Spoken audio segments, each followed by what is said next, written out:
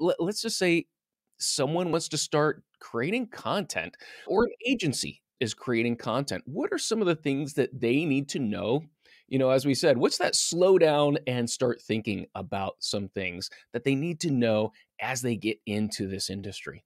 Well, I think the first thing I would say is there is definitely a difference between being a creator and being an influencer. And so, if you take nothing away from this but that today, then I would be a happy woman. I am a fan of sets of three. I don't know why. I don't know if it was a math teacher in my childhood or I don't know. I like, I like, I think of things in sets of three. And so at my firm, we sort of have a what I call a triangle framework for thinking about intellectual property for creator based businesses. And that could be a marketing agency, it could be a professional coaching or consulting firm, it could be a digital learning business. If it involves the packaging and manifestation of knowledge or content in some tangible form, whether it's a marketing campaign or a digital course that you can get on demand.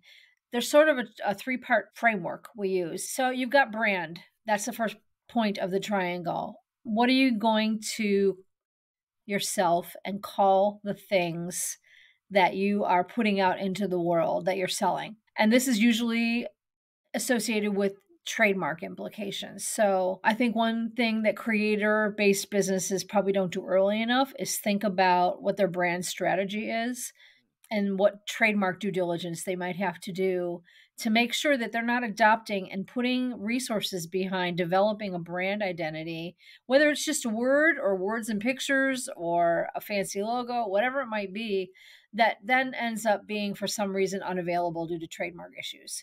So you've got brand, which invokes trademark due diligence, trademark registrations, trademark protection.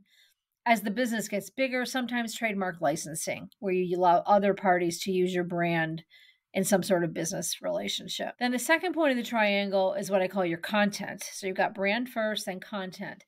That is the stuff that you're putting out into the world.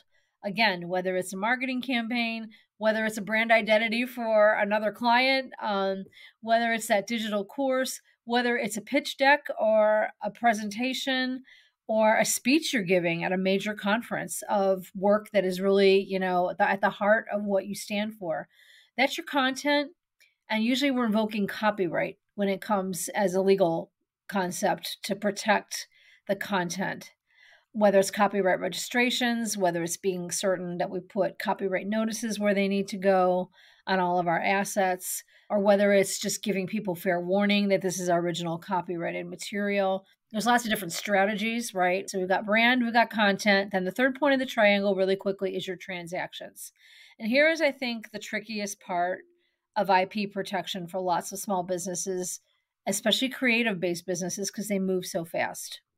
So, transactions can mean how you license your work out into the world. What are the terms and conditions that support you giving access to, let's say it's a digital course, or let's say it is a manual or a book or whatever it might be what are the terms and conditions of how that stuff can be used out in the world? Mm. That's transactions out between you and your clients and customers. Transactions in primarily means who participated in creating the work that you're selling.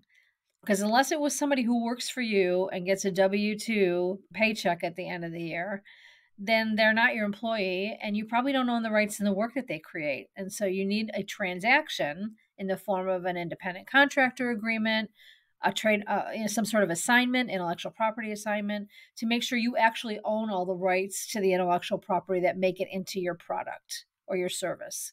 So that's the triangle, and that's how we like our clients to think about assessing the opportunities and then also the legal due diligence that goes behind protecting their assets from an intellectual property perspective.